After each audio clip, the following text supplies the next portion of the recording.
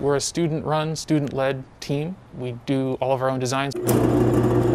So really simply, we build electric race cars.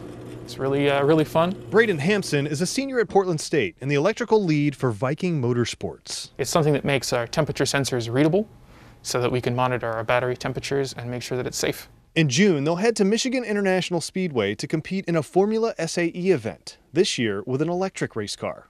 The design approved by Tesla in order to qualify.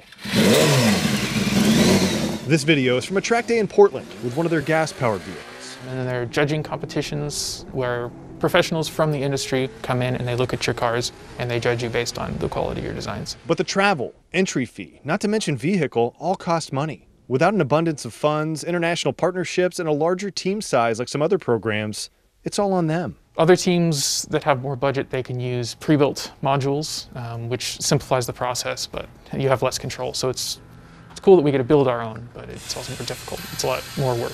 It's entirely our own design and our own engineering ability at work. Senior Oliver Merton is the suspension design lead. Last year, they built their car in a team member's front yard using more budget friendly parts.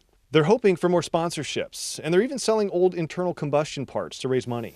But to these guys, finishing first is less important than the process to get there. The goal of the car as a project is to build students, and as an undergraduate team, we hope to uh, give everybody the best opportunity to learn and learn from mistakes, especially. The people who have been on our team and have graduated, um, they are pretty much immediately hired into some pretty awesome positions.